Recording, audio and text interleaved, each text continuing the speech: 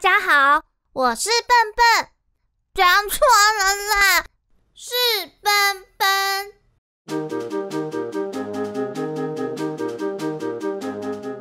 欢迎收听笨笨小剧场。上一集说到，元宇再一次前往玄剑国的边境之城索沃拜访老城主，希望可以查出当年奇幻变成奇幻仙子的秘密。老城主会告诉渊羽什么样的故事呢？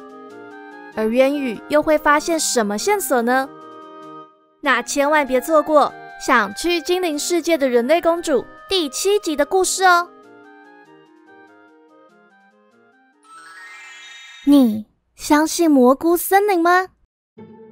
渊羽裹着奶奶的披肩，凑近老城主，神神秘秘的问了这句话。见老城主低下头。白色长眉毛跟眼睛一起下垂，仿佛陷入了长长的沉思里。渊羽就坐直背脊，四处张望了起来。这座边境之城的花园看起来很典雅，只是冬天的严寒掩盖了花园的生机。渊羽不禁觉得，当春天来临时，这座花园一定很美。他们所坐的凉亭位于花园的正中央，地上摆了几盆小火炉，凉亭的四个边角还种了几棵小松树。在这个融雪的时节里，小松树依旧很翠绿，很有精神。凉亭外种了几棵凤凰树，现在还光秃秃的，看不出火焰般的色彩。以凉亭为中心。有一圈圈如莲一般往外扩散开来的花圃，但一点新芽也没冒出来，让依偎着花圃生长的矮灌木显得有点高大。在凉亭的不远处有座池塘，有几朵水仙已经悄悄地开了，低低地看向平静的水面。我不相信。老城主终于开口说话了。渊羽不再观看花园里的景象，回头凝视着老城主。老城主的头还是低低的，垂下的肩膀显得很疲惫。我们从小啊，听的是骑士如何在战场上血战，铸剑大师呢，如何辛苦才打造出精良的名剑。至于那路边的吟游诗人，也会入乡随俗，歌颂战士的攻击、英雄的辉煌。但那些不着边际的魔法，既不实际，我们也不爱听。唉，但在去年的冬末春初之际啊，议事厅里出现了一盘月饼，我啊。可有点相信了。老城主说到这里，中年女佣人拿着一盘蜂蜜乳酪蛋糕回到凉亭，年轻的男仆为他们一一斟满了热乌龙。老城主就忙着招呼渊羽和卢娜吃下午茶。渊羽道了谢，心不在焉的吃了几口蛋糕。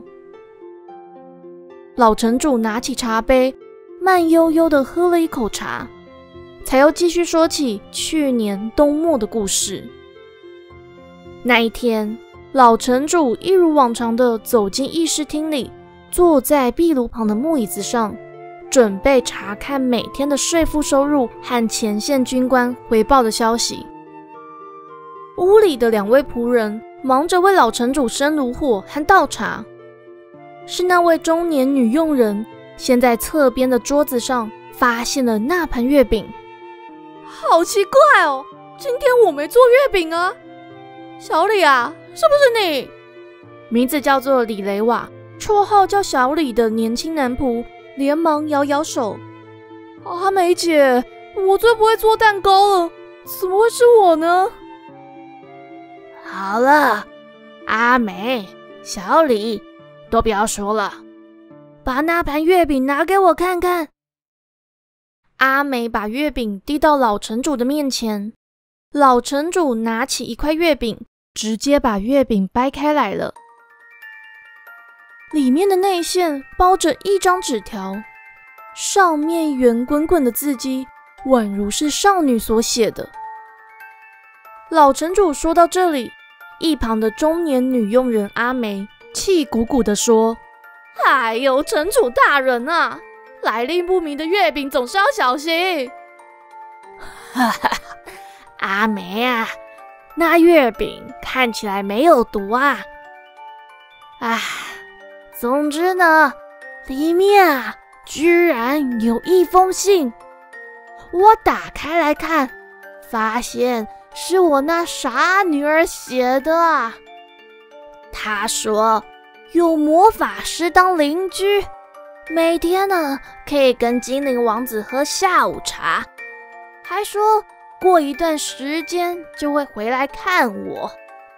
哈哈哈。哈这孩子啊，怎么还这么像孩子呢？老城主说完，眼神迷蒙。一旁的阿美清清喉咙，老城主这才回过神说：“公主殿下，谢谢您听我这老人说这些话。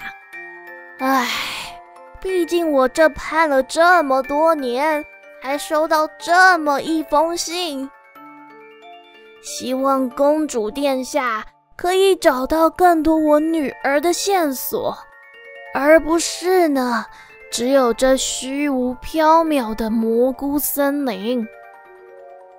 渊羽轻声开口问：“你这里还有没有喜万小姐的物品呢？”“哇，那就是这座花园吧。她以前啊，最喜欢这座花园了。”还种了石斛兰、香槟玫瑰、向日葵和凤凰树，说可以代表爸爸。而他呢，就像美丽的水仙花，最喜欢看着自己水中的倒影了。唉，剩下的我几乎没有留了吧？渊羽还想追问。看到那位叫阿梅的中年妇人一直对自己使眼色，好像有话要说。于是渊羽就笑着对城主说：“非常感谢波迪里奥城主的招待，真希望可以看到这座花园春天的样子。”老城主慈祥地说：“公主殿下，您想在这待多久都可以的。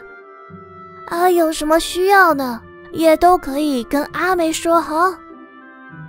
元宇点点头，笑着告退离席。卢娜也站起来对老城主鞠躬。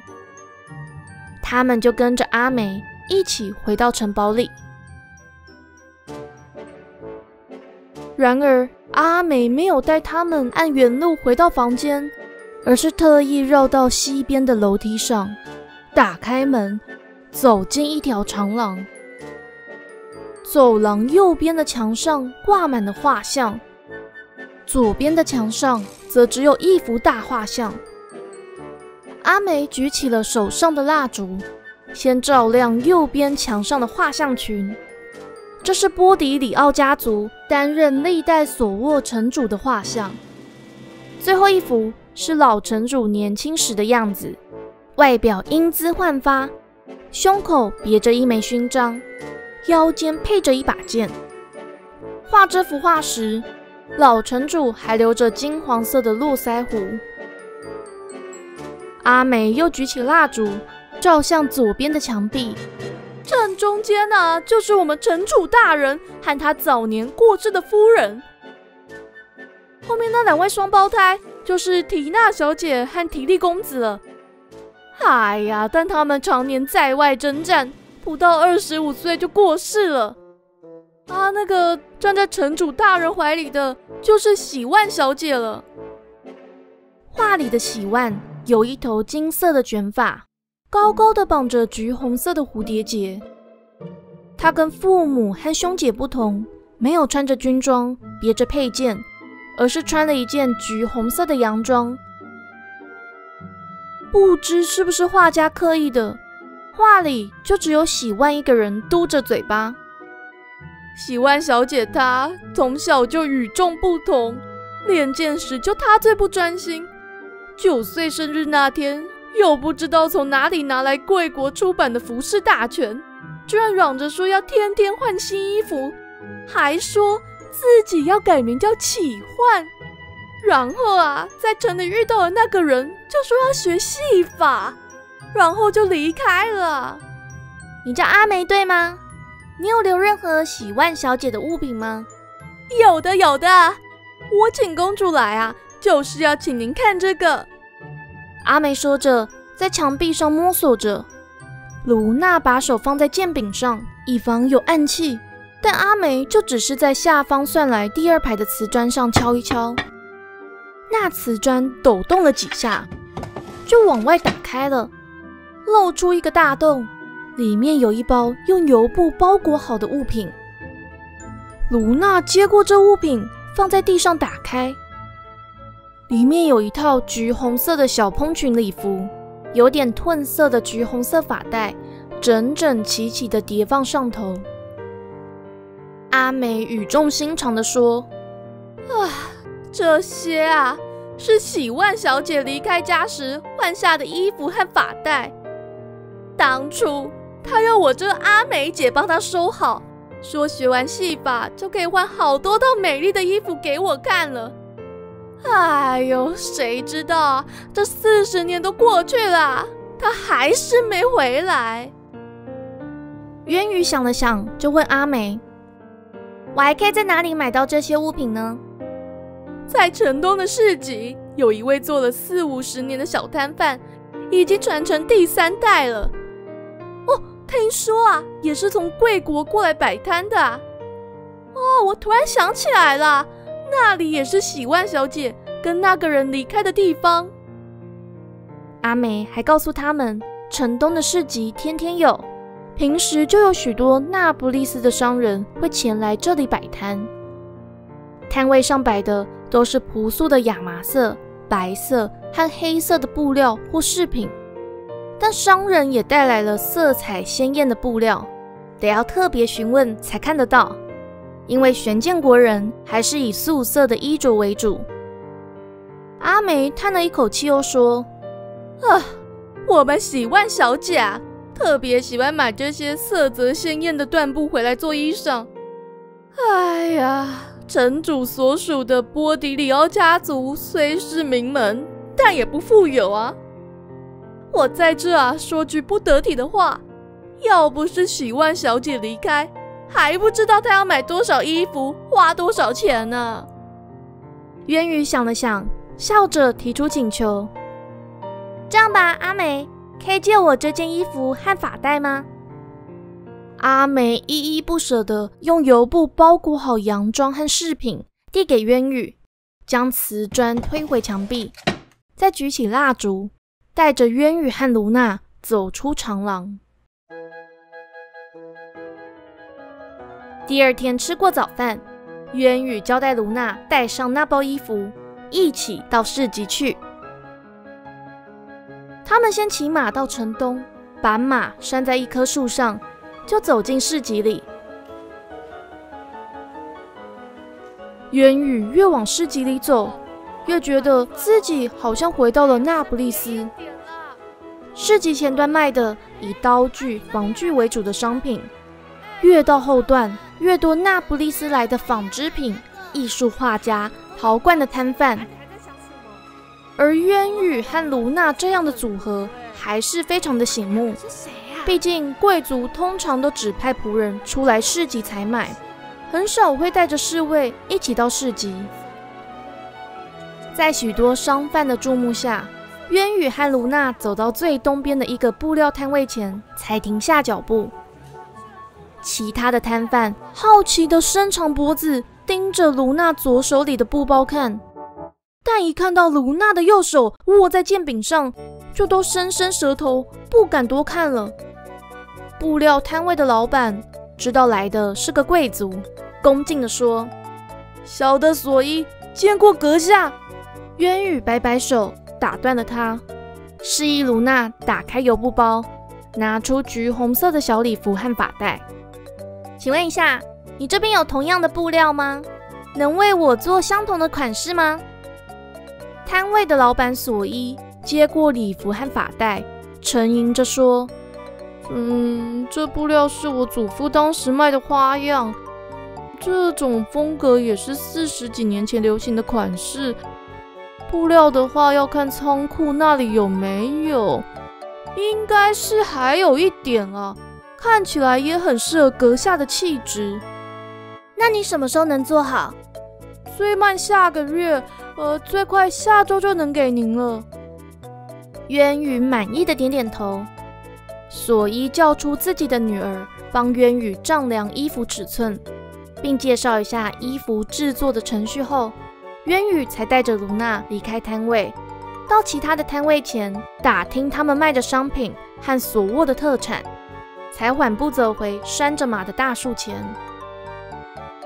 卢娜这才小声的问：“公主殿下，您为何要在这定做衣服啊？”“当然是要穿去精灵王子的生日宴会喽。”“但您还带了很多套礼服吧？每一件都是上乘之作啊。”“对啊，哎，但是这一件衣服特别不一样哦。我希望可以用类似的装扮，让奇幻仙子想起过去。”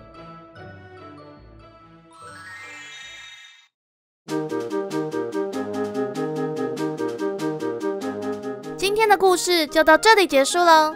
下一次要再带大家一起参加精灵王子丹影的生日宴会，而这一次的宴会上还会有什么样的新鲜事呢？想知道后续，别忘了订阅奔奔小剧场。如果喜欢故事，也可以追踪我的脸书和 Instagram，或是请奔奔吃一顿蘑菇餐或点心哦。奔奔小剧场，下回待续。